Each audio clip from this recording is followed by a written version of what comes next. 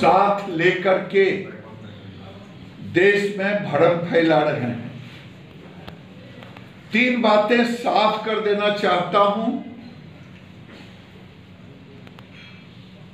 आज देश के अंदर प्रधानमंत्री ने साफ़ कर दिया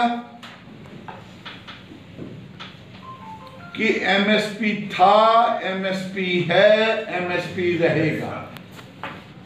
किसानों के लिए दरवाज़ा खुला था, खुला है, खुला रहेगा वार्ता के लिए।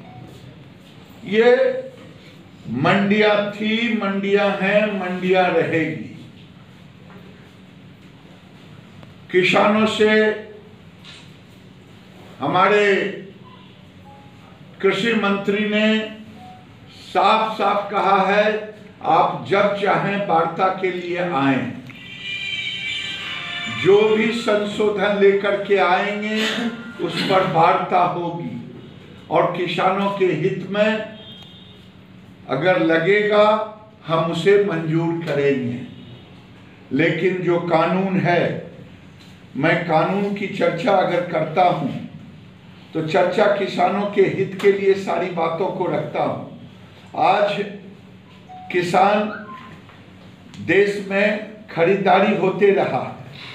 कोई एमएसपी जब से मोदी सरकार आए हैं एमएसपी को 41 परसेंट से 45 परसेंट तक गेहूँ और धान में वृद्धि हुई है। तिहत्तर प्रतिशत से ऊपर दलहन और तिलहन में हुई है। ऐसी स्थिति में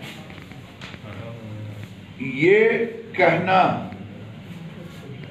कि देश के अंदर किसानों को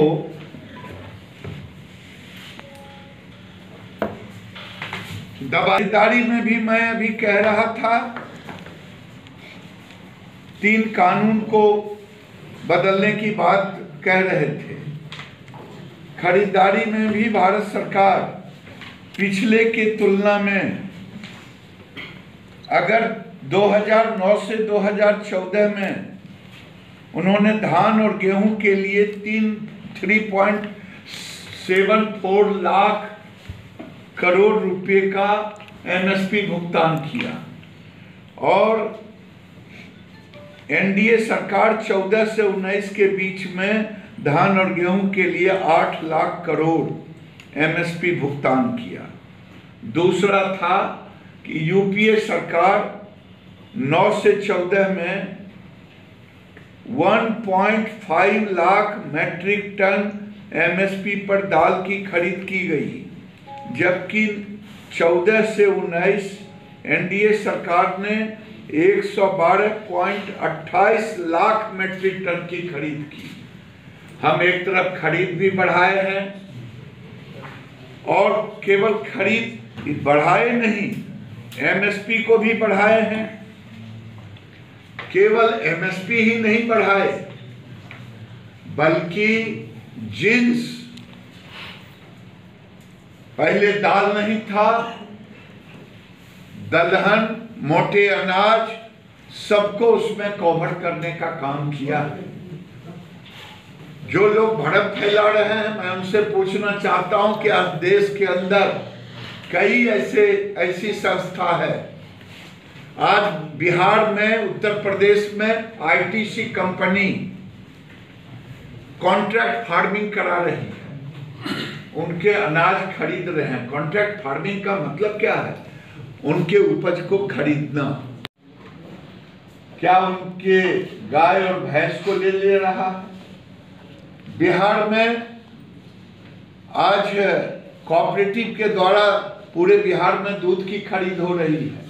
प्राइवेट अमूल खरीद रहा है बिहार में। आईटीसी खरीद रहा है। छोटी छोटी कंपनियाँ खरीद रही है। ये कॉन्ट्रैक्ट फ़ार्मिंग किसानों के आमदनी को बढ़ाने में एक मदद का रास्ता होता है।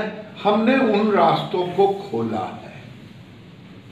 जिसके कारण दस हज़ार फार्मर प्रोड्यूसर कंपनी बनाने का एक लक्ष्य रखा है। उसके लिए लगभग